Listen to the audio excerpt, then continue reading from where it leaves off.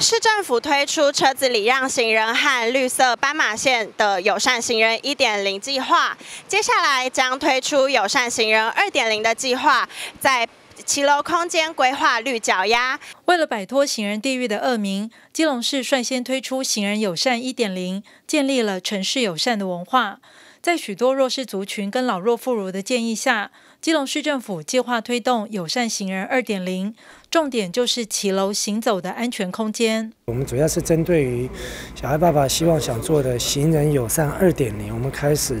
要做一个筹备跟准备。行人友善二点零就是针对于，比如说我们现在骑楼之间有很多机车都是横着停的，大家都是一排直，它就有横着停，或者是很多店面都已经摆出来到已经影响到行人的进行，或者有很多啊这些。车子都停到三角窗等等，对，直接直接挡到斑马线路口等等，我们会实施一些宣导劝阻的工作。一点零就是说，大家这是有互相礼让的概念。其实二点零的情况也是类似，就是说，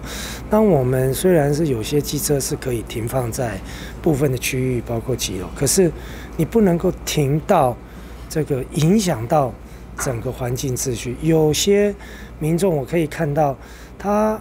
一排大家都是停垂直的，他为了贪五公尺的方便，他宁愿把机车横着停，挡住了几整个通道。那这个通道对于这个一般民众，甚至呃，对于呃身心障碍的朋友，甚至对一般民众，都是一种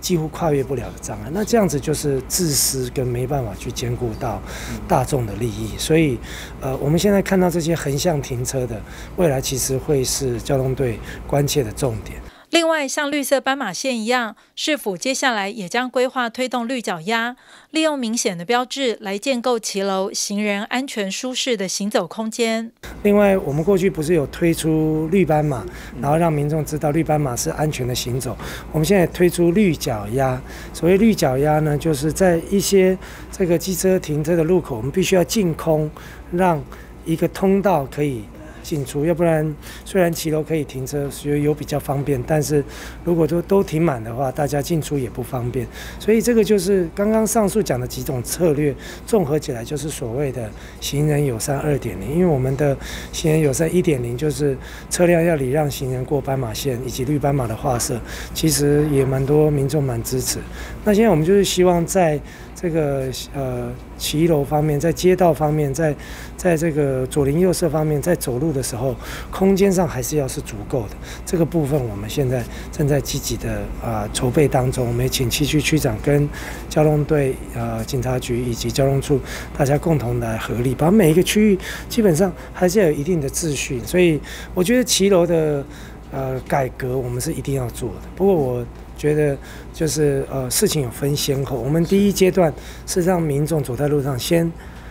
安心、安全，不要说连性命都要担忧。第二阶段就是要方便、便利，不要受到阻碍跟感到不舒适。市长谢国良希望在交通热区跟医院、学校等特定场所的周边骑楼要有合理的秩序规范，在兼顾停放机车的需求下。让老弱妇孺跟观光客都有一个非常安全舒适的行走空间，建构亚洲最有爱的城市。记者黄日升、陈淑平、李亮杰采访报道。